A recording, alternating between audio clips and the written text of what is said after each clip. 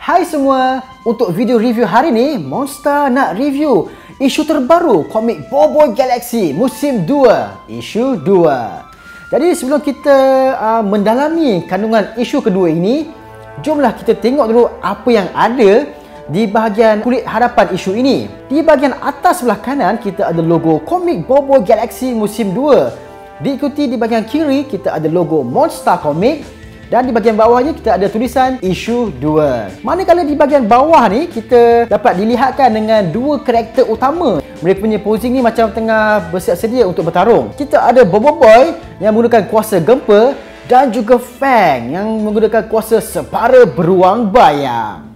Tetapi kalau ada telitikan dengan betul-betul Dekat bahagian kulit harapan ni kita ada tiga karakter sebenarnya Bukan dua Kalau anda lihat betul-betul di bahagian kiri eh dekat dengan tangan Bobo Boy kita ada satu karakter misteri memakai jubah berwarna coklat. Dan apabila kita lihat pada warna kulitnya dia berwarna hijau. Adakah itu Adudu?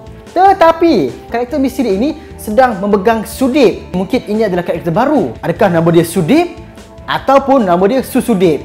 Di bahagian bawah ni pula kita ada tajuk bagi isu kedua ini iaitu Rahsia King Balakong jadi bagi uh, mereka yang di luar sana yang berminat untuk dapatkan isu kedua ini, harga bagi senaskah komik Bobo Galaxy musim 2 adalah RM5.90 sahaja. Dan bagi mereka yang tinggal di Sabah Sarawak, anda boleh dapatkan uh, komik ini dengan harga RM6.90. Itu adalah pengenalan untuk bahagian uh, hadapan.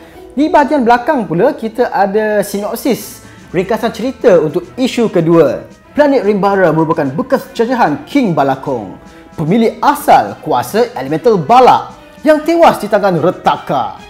Sebuah planet yang dipenuhi belantara juga menyimpan pelbagai rahsia. Dapatkah Bobo Boy membongkar rahsia King Balakong dan dapatkan kuasa elemental bala? Hmm, nak tahu? Kenalah dapatkan komik ni dulu.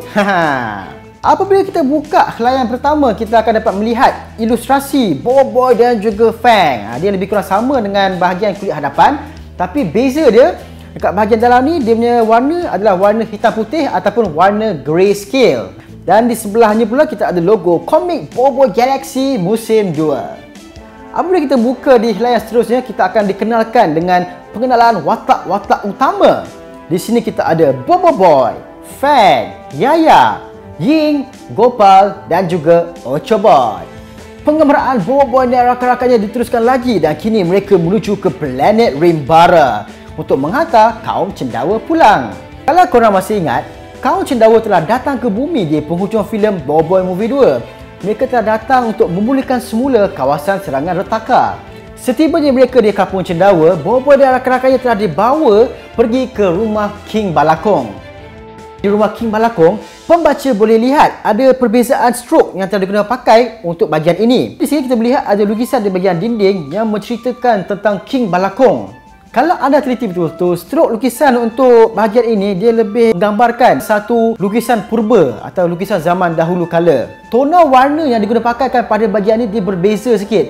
Sebab di sini dia menggambarkan penceritaan yang di bahagian bawah dan di buku surat sebelah merupakan satu uh, flashback sebab tu dia punya tona warna tu dia agak berbeza dia nak menggambarkan ini adalah peristiwa yang pernah berlaku suatu ketika dahulu penceritaan itu berakhir apabila Retaka telah berjaya menewaskan King Balakong dan merampas kuasa elemental bala ini juga pernah diceritakan di dalam filem Boy Movie 2 apabila Retaka merampas ke semua kuasa elemental. Apabila kita buka ke helai seterusnya, kita boleh lihat tona warnanya telah kembali ke warna asal. Jadi dia punya flashback sudah pun tamat. Bobo Boy dan rakan-rakannya kemudian telah dibawa oleh Tok Kasa menuju ke sebuah lokasi rahsia. Di situ mungkin terungkai cara untuk Bobo Boy mendapatkan kuasa elemental bala. Dan setibanya mereka di sebuah lokasi rahsia ini, kita telah diperkenalkan dengan satu karakter baru. Dan apa yang menarik di sini, apabila karakter tu membuat kemunculan pertamanya, kita boleh nampak dia punya uh, kotak dialog berbeza dengan uh, sebelum ini. Kalau anda tengok sebelum ini apabila bawa-bawa ataupun rakan-rakannya bercakap, kotak dialognya berwarna putih dan teksnya berwarna hitam. Tetapi apabila karakter baru ni memunculkan diri, kotak dialog dia berwarna hitam dan dia punya font pun nampak agak tebal eh. Jadi di sini kita ingin menggambarkan karakter tu mempunyai satu suara yang agak kuat dan bergema. Mungkin macam dua tiga jambu madu. Siapakah gerangan kamu? Jadi kita sebagai baca boleh bayangkan macam mana suara watak tu Apabila kita pergi ke uh, muka surat 21, kita boleh nampaklah kita ada satu lagi sesi flashback kerana mereka menggunakan tona warna sama yang kita lihat pada surat 10 tadi. Di penghujung perbincangan Bobo dan watak baru ini, kita diperkenalkan pula dengan satu lagi watak baru. Dan kalau anda teliti betul-betul, watak baru ini sedang bersembunyi di lubang bahagian atas gua tersebut. Persoalannya di sini, adakah dia kawan ataupun lawan? Dan apabila kita mula masuk ke muka surat 25 dan ke atas, di situlah bermulanya climax untuk isu kedua ini. Jadi satu persatu apabila kita baca, kita melihatlah bagaimana Boboy, Feng dan Gopal menentang musuh yang baru mereka jumpa ini. Setiap panel komik yang ada di muka surat 25 dan ke atas memang penuh dengan aksi. Kita ada nampak Boboy, Feng dan Gopal berlari dan Feng menggunakan kuasa dan juga Boboy menggunakan kuasa tahap kedua dia. Setibanya kita di muka surat 33, ini dia. Kita dah boleh nampak dah watak misteri yang ada di bahagian uh, kulit harapan tadi. Watak itu telah membuatkan kemunculan pertamanya dan dia telah mengeluarkan dia punya sudip sudip berapi. Apabila anda lihat di penghujung komik ini, anda akan dapat tengoklah ada sedikit sneak peek isu ketiga. Dan di sini kita boleh lihat Gopal dan juga Yaya sedang bertarung dengan seekor burung gergasi. Oh, Nampaknya isu tiga juga menjadikan kita dengan komik yang penuh aksi. Bagi mereka yang ingin tahu kisah selanjutnya tentang isu dua ini, anda boleh dapatkan komik Bobo Galaxy musim 2 di kedai buku berdekatan anda. Ataupun anda juga boleh membuat pembelian secara online. Jumpa lagi di video seterusnya. Bye!